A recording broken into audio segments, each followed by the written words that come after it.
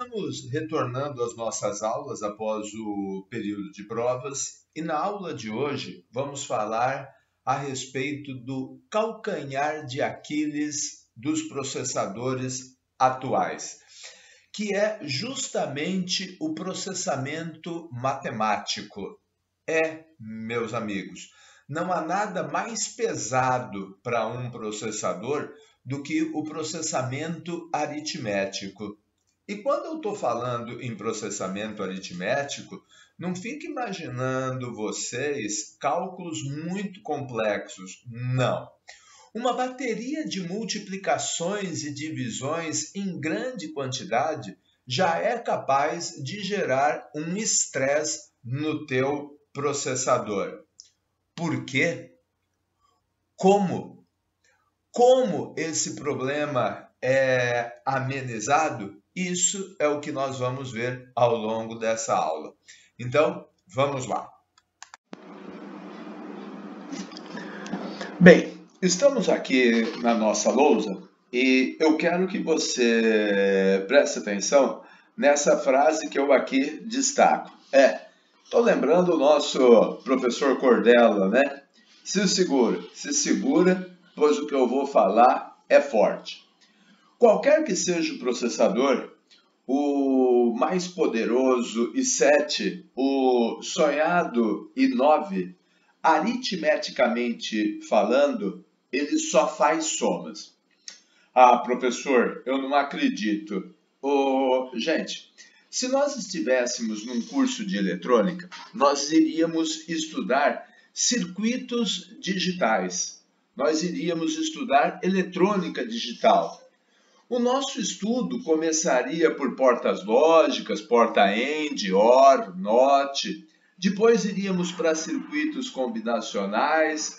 Entre eles, falaríamos de circuito somador, cuja função é óbvia, e acabou aí. Não falaríamos sobre circuito multiplicador, divisor, por quê? Porque não existem. Ô, oh, professor, me desculpa, eu fiz eletrônica. Eu estudei é, circuito multiplicador que o senhor falou que não existe. Opa, que bom que você estudou. Porque o que, que é um circuito multiplicador lá na eletrônica digital? Ora, é um circuito somador colocado em looping. Não entendeu o que eu estou querendo dizer? Então, vamos lá. Como que um processador faz uma multiplicação? Gente, é fácil. Se o nosso processador tiver que multiplicar 7 por 5, ele não sabe fazer a multiplicação. Então, o que, que ele vai fazer? Ele vai fazer 7 mais 7 mais 7 mais 7 mais 7. Ou seja, ele vai somar o 7 quatro, quatro vezes. Percebam que na minha expressão há quatro sinais de soma. Então, eu vou fazer quatro somas. Ora, se fosse para multiplicar por 10, eu faria 9 somas. Se fosse para multiplicar por 50, eu faria 49 somas. Se fosse para multiplicar por n, eu faria n menos 1 somas. Ou seja, se um processador hipotético qualquer gastasse 10 nanosegundos para fazer uma soma, para multiplicar 7 por 5, ele gastaria 40 nanosegundos, ou seja, o tempo de uma soma. Pois bem, multiplicação foi fácil, né, gente? Mas aí aquele aluno mais esperto vai estar tá querendo perguntar: Mas professor, e a subtração, professor? Entender que uma multiplicação são sucessivas somas é tranquilo. Agora, a subtração não dá, né? É, amigo, as coisas vão começar a ficar mais complicadas. Mas olha, vai ter que ser assim, porque não há outra operação aritmética para o processador que não seja soma. Então, vamos ver como que um processador subtrai efetivamente. Olha, Aqui eu tenho uma subtração feita por nós, usando o nosso jeitão de subtrair, que eu vou chamar de método convencional ou método da tia Maricotinha, uma vez que foi a tia Maricotinha lá no ensino fundamental que nos ensinou a subtrair. Então eu quero fazer 77 menos 13. Ora, 7 menos 3, 4, 7 menos 1, 6, resultado 64. Simples assim. Porém, para o processador, as coisas não serão tão simples. Gente, aqui eu tenho o exemplo de uma subtração feita pelo computador ele não usa o método da tia Maricotinha, como nós. Ele usa um método que a gente chama de soma em complemento de 2. Então percebam, eu quero fazer 77 menos 13, mas o processador não sabe subtrair, ele só sabe somar. Então eu vou preservar o 77, percebam? Estou trazendo o 77 para cá, e o 13, eu vou trocar o 13 pelo complemento de 13 mais 1. Ora, o complemento de 13 é 86, mais 1, 87. Então, esse 87 que você está vendo aqui é exatamente o complemento de 13 mais 1. Ora, vamos fazer a soma 7 mais 7, 14. Vai 1. 1 mais 7, 8. Mais 8, 16. Vai 1. E esse 1 vai para o inferno. Esse 1 eu vou jogar no lixo. E, gente, procedendo dessa maneira, quanto que deu? Uhum, deu 64. 4. Ô, gente, acredito que você deve estar meio que perplexo. E alguns, talvez mais céticos, vão dizer: professor nem dormiu a noite, ficou pensando em dois números que somados dessem 64 para vir aqui enrolar a gente. Oh, meus amigos, não. Tanto que aqui embaixo eu tenho outro exemplo com outros números diferentes. E antes da gente prosseguir, só um detalhe. Lembra desse 1 que foi para o inferno, que a gente jogou no lixo? É óbvio, um peopler não vai dizer que esse 1 vai para o inferno. Um peopler vai dizer que, ó, oh, deu carry, então, um people vai olhar para isso e dizer deu carry, ok? Bom, meus amigos, um segundo exemplo. Agora eu quero fazer 55 menos 7. Ora, 55 menos 7. 5 menos 7 não dá. Então, esse 5 vai pegar um emprestado aqui. Vira 15. 15 menos 7, 8. Esse 5 emprestou um para cá, virou 4, 48. Ou seja, pelo método da tia Maricotinha, 55 menos 7, 48, perfeito. Em soma em complemento de 2, preserva-se o 55, o complemento de 7 é 92, mais 1, 93. 5 mais 3, 8. 5 mais 9, 14, vai 1. E esse 1, achou que eu ia falar que vai para o inferno, né? É, vai para o inferno mesmo. Só que eu vou falar que deu carry. Então, meus amigos, reparem o resultado em complemento de 2 exatamente igual ao resultado do modo convencional. Gente, pode fazer para o número que você quiser. Sempre, sempre vai dar certo. E é assim que o processador subtrai. Agora, eu sei qual é a tua dúvida. Eu sei. eu usei o termo complemento de 7, o complemento de. Já nem lembro qual foi o número da outra conta, 13. Eu usei complemento de 13, complemento de 7, com tanta naturalidade, mas você não sabe o que, que significa o complemento de um número. Ou melhor, você sabe, mas já esqueceu. Na verdade, o complemento de um número está ligado diretamente ao range, a faixa numérica em que eu estou trabalhando. Então percebam, todos os números que eu usei são números de no máximo dois dígitos. E com dois dígitos eu consigo ir de 0 até 99. Então o complemento de um número é quanto falta para esse número chegar ao 99. Ou seja, qual é o complemento de 13? É 86 porque 86 mais 13 resulta em 99. Qual é o complemento de 7? É 92, porque 7 mais 92 dá 99. Qual é o complemento de 77? É 22. 77 mais 22 dá 99. E aí, como eu sempre trabalho como complemento mais um, eu acrescentei mais um para chegar nos números que nós usamos. Ok? Então, acredito que agora o cálculo do complemento de um número não seja mais mistério para você.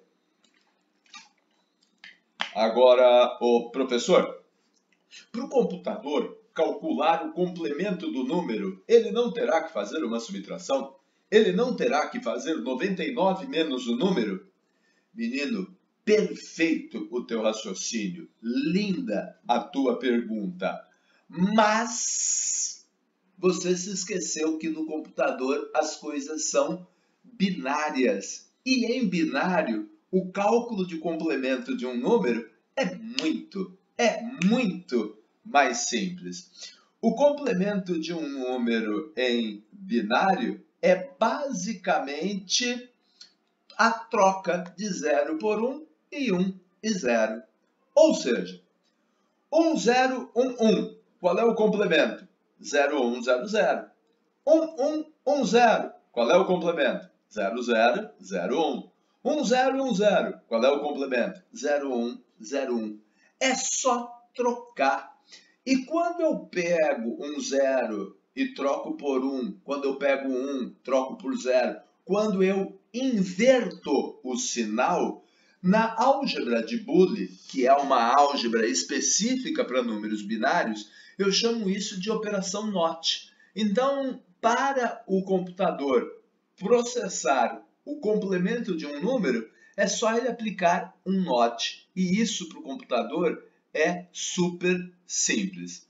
Portanto, para fazer uma subtração, o processador faz um NOT, depois ele soma 1, e depois ele soma esse valor obtido, o complemento do número mais 1, com a primeira parcela original. Ou seja, uma subtração consome o tempo de um note e duas somas. Se a gente considerar que as somas são feitas em 10 nanosegundos e que um note gaste 4 nanosegundos, o tempo de uma subtração será de 24 nanosegundos. Professor, e a divisão? Amigo, essa pergunta é desnecessária. A divisão é o contrário da multiplicação. Se a multiplicação eu consigo fazendo sucessivas somas, a divisão eu consigo fazendo sucessivas subtrações. E como as subtrações não existem, lembre-se, cada subtração é uma soma em complemento de 2, ou seja, uma divisão é feita através de sucessivas subtrações, ou melhor, somas em complemento de 2. Ô professor, agora eu te pego, rapaz. E como é que o computador calcula o seno, ô, professor? Gente, tem certeza que você quer saber? Olha, pela confusão que é a subtração, imagina o seno, o log, o logaritmo neperiano. Sem dúvida, vão ser muito mais complexos, mas sem dúvida serão feitos através de somas. Na verdade, em cálculo, você vai ver, talvez até já tenha visto na disciplina de cálculo, é, opa, desculpa, vocês não têm cálculo no primeiro ano, na grade antiga que tinha. Então, em cálculo, vocês vão estudar que toda função matemática pode ser escrita na forma da somatória dos termos de uma série. Então, você irá conseguir calcular o seno fazendo a somatória de mil termos de uma série matemática qualquer. É, gente, é trampo. Processamento aritmético para o processador é trampo. Moral da história. Para o processador, cálculos matemáticos representam um trabalho enorme e, consequentemente, muito tempo gasto. Portanto, o processamento matemático científico é o que existe mais dispendioso em termos de desempenho de um processador. É o que estressa mais o nosso processador. São cálculos matemáticos. Aliás, tinha falado isso no início da nossa aula, agora acredito que você tenha condição de entender o porquê. Certo? Beleza. Bem, meus amigos, será que nós, no ano de 2020, fomos os primeiros a constatar que o processamento aritmético demanda grandes esforços do nosso processador? Claro que não, né? Outros antes de nós já evidenciaram isso, já se depararam com esse problema e já o resolveram. Sim, oh, meus amigos, de muito que os nossos computadores, além do processador, vêm equipados com um coprocessador aritmético. E o que, que é um coprocessador aritmético? Um coprocessador aritmético é um segundo processador, é um processador coadjuvante que foi inserido na arquitetura dos nossos computadores com o objetivo de agilizar a realização de cálculos. É um processador especializado em processamento matemático. Então, ele consegue fazer contas com maior precisão e com maior agilidade do que o nosso processador. Ah, professor, entendi. Então, esse cara, esse cara multiplica, esse cara divide, né, professor? Não, amigo, não. Lembra, a limitação de só fazer somas, ela vem da eletrônica. É que esse cara é especializado nisso. Esse cara, ele não tem que fazer acesso à memória, esse cara não tem que fazer acesso a dispositivos periféricos, eles não se conectam à bus de expansão, à ponte norte, à ponte sul. Então, ele é especializado. E como o trabalho de qualquer um que seja especializado, é um trabalho que é feito com maior qualidade, entenda-se qualidade aí como precisão, maior quantidade de casas decimais e maior velocidade. Então, se o processador para calcular um seno gastaria o tempo de 85.400 nanosegundos, o coprocessador vai conseguir fazer isso em um terço desse tempo, vai conseguir fazer isso em torno de 30 mil nanosegundos. Ok? Ele é especializado. Perfeito? E, obviamente, que a comunicação entre os dois é intensa. Porque quando o processador se depara com um cálculo complexo para fazer, opa, tenho que multiplicar aqui 121 por 39. O que, que o processador faz? Ele para, encaminha esse cálculo ao coprocessador aritmético, que realiza o cálculo e devolve o resultado. Então, a comunicação entre esses dois dispositivos, ela é intensa e constante. Bom, Uma curiosidade. Eu trago aqui uma foto, uma ilustração é, de uma placa de um antigo 386. Percebam, eu tenho aqui o processador 386 e ao lado eu tenho um outro chip, o Intel 387. Gente, processador e coprocessador aritmético. Agora, essa figura ilustra a existência do coprocessador aritmético. Mas hoje em dia, meus amigos, as coisas não são mais assim. Por quê?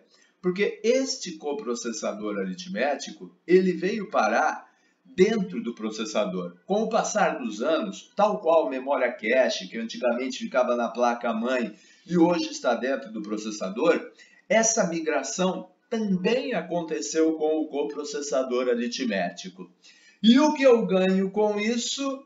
Ora, eu ganho com isso velocidade, porque estando esses dois camaradas mais próximos, essa comunicação será feita em menor tempo. Ok? Gente, antes de finalizar, apenas um detalhe. Eu falo coprocessador aritmético, eu falo ponte norte, eu falo ponte sul, eu sou velho. Você é jovem, você não fala ponte norte, você fala MCH. Você não fala ponte sul, você fala ICH. Você não fala coprocessador, você fala FPU, Float Point Unit.